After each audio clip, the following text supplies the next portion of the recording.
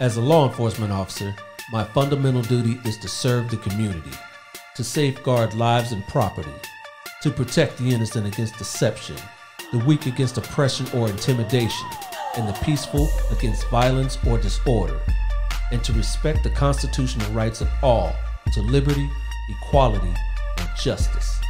Hey fam, how you doing? I'm Dale, host of the Black in Blue podcast. And what you just heard was the first paragraph from the Law Enforcement Code of Ethics, the standards and principles which law enforcement officers all across this great nation live by. Throughout my 20 plus years in law enforcement, I've seen a lot of things, some good, some bad. I've served in all levels of government as a local cop, a state cop, and even a fed. And through all that, one thing has remained the same me, an African American man husband, father, and son. It's with that background that I bring this podcast to you.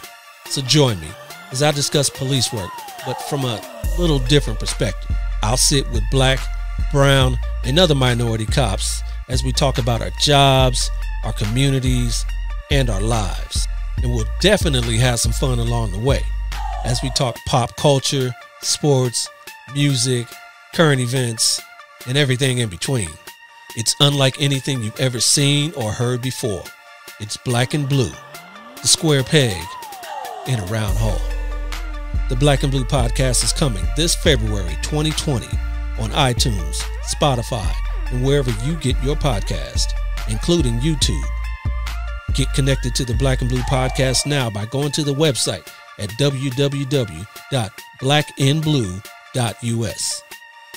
We're also on Facebook Instagram, and Twitter at Black in Blue US.